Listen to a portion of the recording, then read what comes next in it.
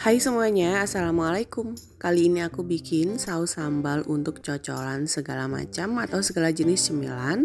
Bisa untuk dimsum, bisa juga untuk tahu bakso atau gorengan Dan yang pokoknya tuh semuanya tuh masuk untuk cocolan pakai saus sambal ini Rasanya itu gurih, sedap, sedikit pedas, dan juga ada manisnya. Sebelum memulai, jangan lupa untuk klik tombol subscribe bagi kamu yang belum subscribe.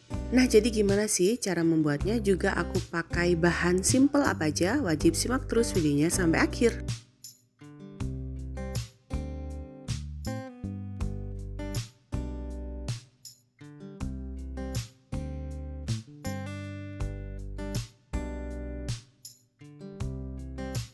Nah jadi untuk bahan apa aja yang kupakai semuanya sudah ada di layar. Kamu tinggal copy ulang atau kamu bisa capture layar handphone ataupun layar PC Dan selalu aku tulis ulang semua bahan juga takarannya ini di kolom deskripsi di bawah Nah ini dia untuk bahan-bahannya. Jadi ini sudah aku siapkan. Opsional aja boleh pakai oregano Kemudian kaldu bubuk, lanjut garam, gula pasir dan juga lada bubuk. Untuk takarannya kamu bisa lihat di kolom deskripsi di bawah ya.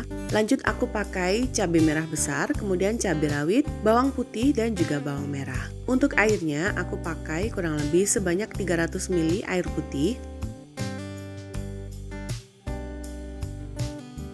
Lanjut, aku mau haluskan dulu untuk percabean dan juga bawang-bawangannya ini aku pakai blender, boleh juga pakai chopper ya, jadi sesuaikan selera aja. Kalau nggak ada keduanya, boleh juga dengan cara diulek sampai halus. Agar nanti teksturnya lebih halus, bisa juga ditambahkan dengan minyak goreng, kurang lebih aku pakai 3 sendok makan. Dan ini dia hasilnya setelah aku blend. Jadi ini teksturnya halus tapi nggak terlalu halus banget. Balik lagi ke selera masing-masing di rumah. Lanjut, di sini aku mulai panaskan margarin, boleh juga pakai minyak goreng. Kemudian mulai tumis semua bahan yang sudah dihaluskan ini sampai benar-benar matang agar nanti hasilnya dia nggak bau langu.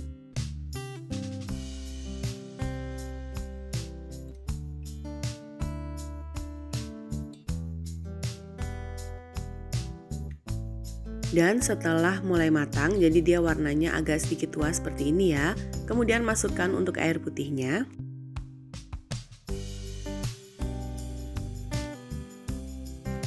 Lanjut aduk sebentar untuk memastikan semua bahan tercampur.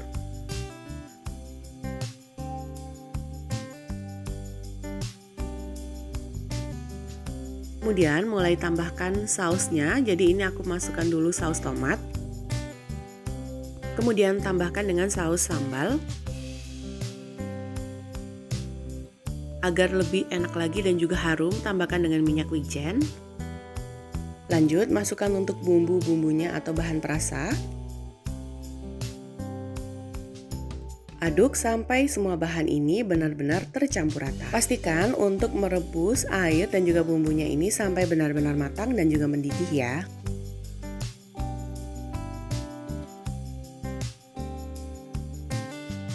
Dan setelah mulai matang dan juga mendidih seperti ini, aku mau cek rasa. Jangan lupa kamu juga cek rasa ya. Jadi sesuaikan lagi dengan selera masing-masing di rumah. Boleh juga ditambahkan dengan beberapa bumbu atau bahan berasa yang kamu sukai. Jadi sesuaikan dengan selera masing-masing.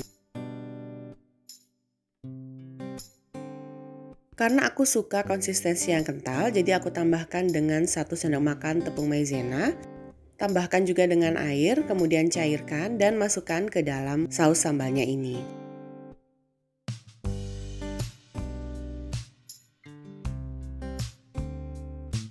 Lanjut, aduk-aduk kembali sampai dia matang. Setelah matang dan juga mendidih seperti ini, kemudian matikan api kompornya dan siap untuk kita jadikan cocolan di segala menu cemilan atau makanan yang kita sukai. Nah jadi ini aku sudah pindahkan ke wadah saus seperti ini dan kebetulan juga aku lagi bikin tahu bakso dan juga dimsum. Aku mau cobain untuk menu cocolannya pakai saus sambal yang aku bikin hari ini.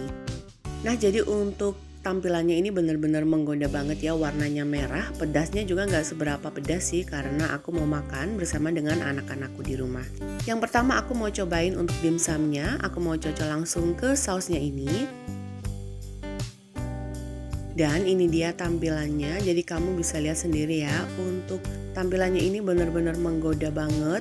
Pastinya juga cocok untuk segala macam menu atau cemilan gurih. Bisa untuk lumpia atau gorengan dan lain sebagainya. Ini rasanya tuh benar-benar enak banget semuanya masuk di saus sambal bawang ini. Jadi gak perlu bingung lagi untuk bikin saus apa sebagai cocolan di menu cemilan kamu. Nah, jadi gimana? Gampang kan cara bikinnya? Semoga video ini bermanfaat. Jangan lupa untuk selalu dukung aku dengan cara klik tombol subscribe, klik juga loncengnya, like postingan ini dan juga share resep ini ke semua medsos kamu sebanyak-banyaknya. Tunggu video selanjutnya dari aku. Wassalamualaikum warahmatullahi wabarakatuh.